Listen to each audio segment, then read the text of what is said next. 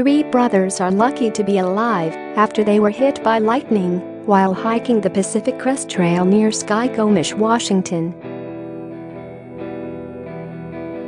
Austin, Dylan, and Garrett Murtha set out on June 28 with the aim of completing the entire 2,650 miles south route from the Canadian border down to Mexico.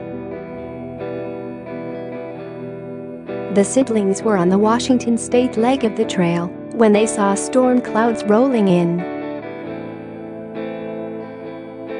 Greg Murtha, the boy's father, told KCRA they scrambled for safety, trying to get down from the granite mountaintop, but they weren't fast enough. Lightning struck a tree next to the hikers, sending the brothers flying. Austin, who was closest to the strike, was thrown 15 feet and knocked unconscious.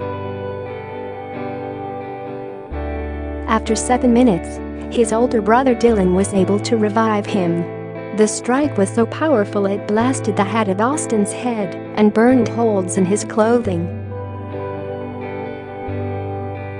Share this article Share it was a 15 to 20 minute lightning storm, Greg Murtha told KCRA by phone. Austin was thrown 15 feet by the force of the strike. He was unconscious for 7 minutes. My oldest son revived him. And they hiked out 60 miles to Skykomish, and the cardiologist said he was lucky as hell he survived. The brothers also shared videos revealing the burn marks and scars left on Austin's leg. It was crazy. I'm alive though, Austin said. Despite their injuries, the brothers were able to hike another 60 miles to Skykomish to seek medical treatment. Austin underwent an EKG and Greg says the cardiologist told his son he was lucky as hell to have survived.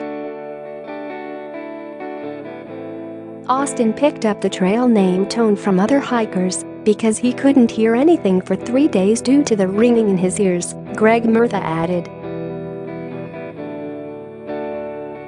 They are also filming the journey for their dad's virtual reality company Splorit.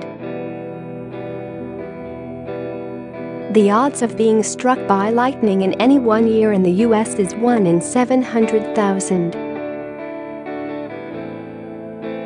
The odds of being struck in your lifetime is 1 in 3,000. A single lightning strike is made up of several 100 million volts.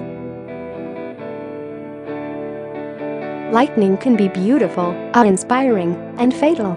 Between 1982 and 2011 an average of 54 Americans died a year as a result of lightning strikes. The numbers have been coming down in the last few years, many thanks to government education and safety work. In 2011 there were only 26 lightning deaths.